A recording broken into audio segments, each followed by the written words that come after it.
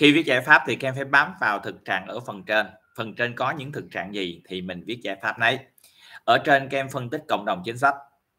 Thì trong cộng đồng chính sách có những khó khăn nào và các em giải quyết khó khăn đó bằng những giải pháp nào? Cho nên các em trình bày ra, nó liên kết lại với nhau. Ở phần trên các em trình bày những rào cản.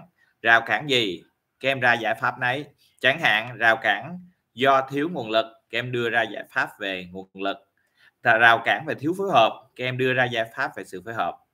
Ở cái phần nội dung liên quan đến cái mô hình thực hiện chính sách à, nếu như các em lựa chọn mô hình là từ trên xuống dưới thì mô hình từ trên xuống dưới đó nó có những nhược điểm nào thì các em lúc này các em sẽ đưa ra những giải pháp gì để khắc phục những nhược điểm nhược điểm đó. Thì các em viết theo hướng như vậy thì phần giải pháp của các em sẽ được đầy đủ nhiều đa dạng phong phú và nó gắn liền với phần thực trạng ở trên. Không viết chung chung, không viết sáo rỗng, không góp tùm lum vào. Để cho các em. Tóm lại